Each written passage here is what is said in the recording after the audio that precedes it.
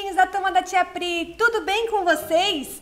Eu estou ótima, graças a Deus. Hoje eu quero apresentar um amiguinho novo para vocês. Esse aqui é o Cirilo. Olha como ele é fofinho, ele é muito bonitinho, ele adora estudar. E hoje nós vamos estudar, mas de uma maneira muito legal. Nós vamos aprender a escutar quantas palavras tem em uma frase. Ai, que difícil! Não, mas espera aí. Antes disso, eu quero pedir para você que não se inscreveu ainda no nosso canal para se inscrever. É bem rapidinho, é só apertar o botãozinho vermelho aqui embaixo, tá bom? Ativa o sininho para ele te lembrar de não perder nada daqui. E curte um monte e mostra teus amigos, para eles aprenderem também as letrinhas, as palavras e também tem um monte de outras coisas muito legais aqui. Combinado? Então vamos lá para nossa aulinha de hoje. Hoje nós vamos aprender sobre a consciência das palavras. Ou seja, você tem que saber quantas palavras existem em uma frase. A nossa primeira frase é bom dia. Bom dia é uma frase. Bom é uma palavra e dia é outra palavra. Quantas palavras nós temos nessa frase? duas. Vamos falar juntos cada palavrinha que tem? Bom dia. Isso mesmo, duas palavras na frase bom dia. Vamos para uma outra frase para ver se vocês conseguem contar sozinhos. Vamos lá? Fui brincar. Agora você vai levantar o seu dedinho em cada palavra que tiver nessa frase. Vamos lá, você.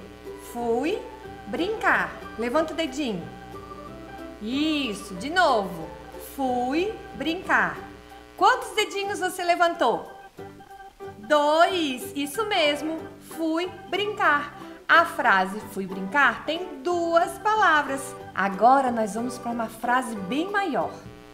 Estou com sede. Vamos levantar os dedinhos e contar quantas palavras tem? Estou com sede. Três palavras. Vamos falar as palavras bem devagarinho enquanto a gente olha aqui? Estou com sede. Muito bem. Agora eu vou deixar mais difícil.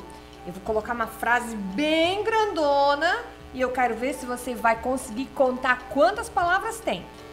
O gato é branco. Agora você levanta os seus dedinhos, contando quantas palavras a gente tem nessa frase. O gato é branco. Difícil? De novo. O gato é branco. Vamos lá?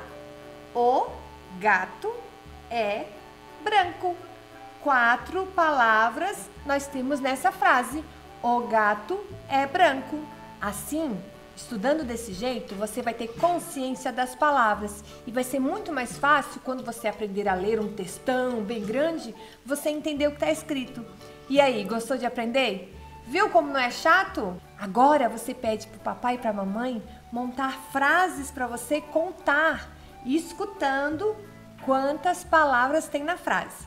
Combinado? Eu espero vocês na nossa próxima aulinha para a gente aprender outra coisa, tá bom? Um grande beijo da tia Pri. Tchau!